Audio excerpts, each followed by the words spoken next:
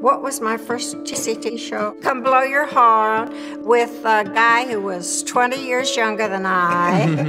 that was in 1965. You were 42 and Frank Chafin was 25. Yeah. The first thing that I did at Civic was extremities in 1988 when I was still in college. I found myself uh, at a new home. I have always known my entire life that I wanted to be on stage. Over at Gage Park, they had these summer programs called Creative Dramatics. That turned into my first community theater production when I got to play Tiny Tim.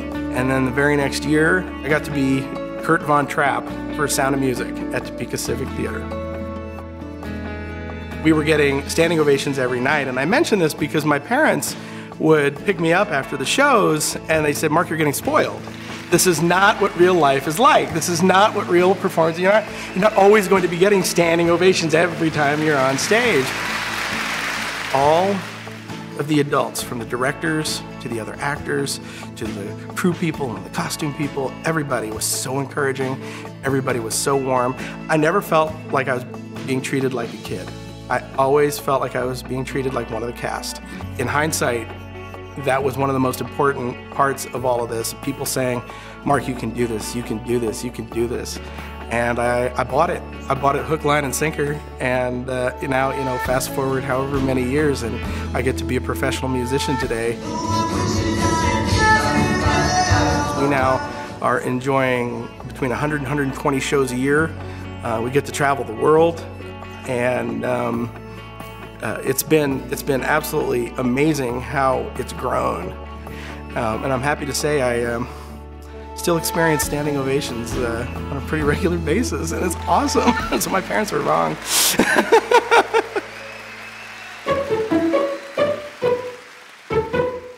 we actually loved when mom was in a show. Um, she felt a little guilty, but we loved it because it made her so happy, and um, that is genuine. And then, of course, uh, some of the daughters trailed along to the warehouse. So we loved going with you to the theater to watch rehearsals. I was not only influenced by my mom, but our whole family was involved. How old were you when you started with that group? Improv. Oh yeah, um, my uh, my first TCT exposure. Um, Besides Willy Wonka. Well, I did Willy Wonka in the Old Father Theater when I was 12 years old. And then I was in the freshman class improv group uh, in high school. So that really got me familiar uh, with theater. And we had so much exposure to it. And I think we always really admired uh, what mom and dad were doing. And we loved seeing all the shows, we loved going to the rehearsals. It was just so amazing to watch. I will say that the most important summer is that first summer he was in Bathhouse. I feel like it made the biggest impact on it, and he grew in confidence. That first summer you did Bathhouse was a game changer. He just provided me such a such a gigantic outlet, whether, whether it's just for meeting people, but also it's it's everybody who's gone through this process knows that it's this amazing form of self-expression. I certainly think it's helped me in jobs when I've had to give presentations. It's a confidence thing, I believe, and teamwork. You have to be a team player in while you're involved in theater as much as if you were an athlete. I always encourage people that are new to town, go over and check out Topeka Civic Theater if there's a volunteer job for you to do. Boy, you, you have an instant group of friends and family. We could be at a party, the three of us, and we would have all have the same friends. It is the most loving, accepting environment, I think, hands down. Theater's different in other places. You know, it's it's possible to make friends. I always made friends wherever I, I did a show. But the way people are brought into the family creates that sense of ownership uh, because you're part of it. You don't just do your job and go home. You get to know each other. Being a community dinner theater is unique. There, there aren't those spaces available at other theaters. The physical space here lends itself to get to know your, your fellow actors, the staff, uh, the audience members, the supporters, the board members, uh, the people who stick around after a show and visit. it's just much more comfortable. In March of 2018, I started to feel an intense pain in my right shoulder. It wasn't going away, and then it started to travel over to the left shoulder, and it was very intense. So I knew we needed to get to the hospital. Within eight hours, I was uh, paralyzed from the neck down. It was a, uh, a stroke of the spinal cord. It impacted my breathing, so uh, it was very difficult for me to draw a breath. And I spent three months in inpatient care. The amazing thing was how much my theater family responded to that. We were overwhelmed by the support that we received from the theater community here.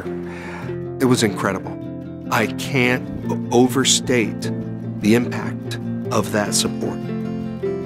We never worried that uh, people cared about us and that we were part of their families. It still means something. I've never experienced anything like this in my life. I know now that I mean something to people here. That means everything. This place is magic. This place is special. You can you can go so many places and see great performances. But this place makes magic things happen and you're part of it. At whatever level you participate, as an audience member, as a donor, as a board member, or uh, a volunteer in any capacity, you are part of the family.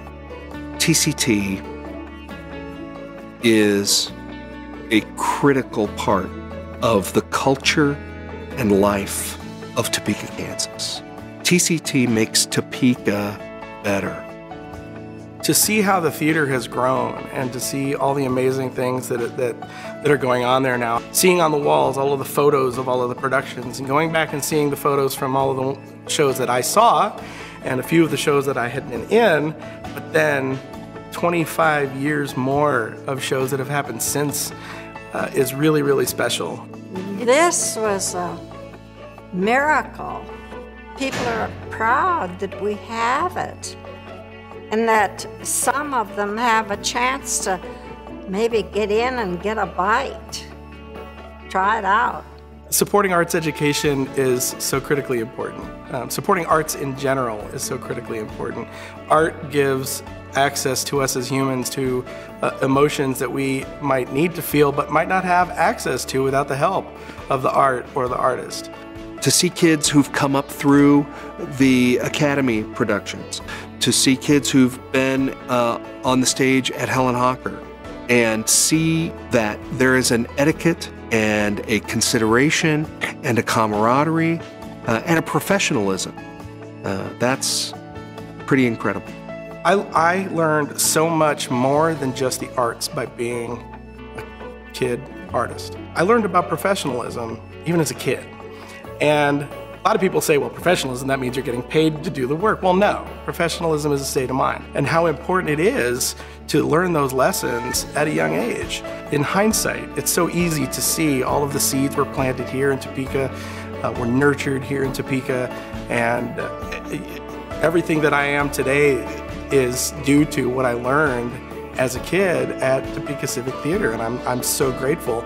It's really cool to be able to come back home and tell all these people, thank you.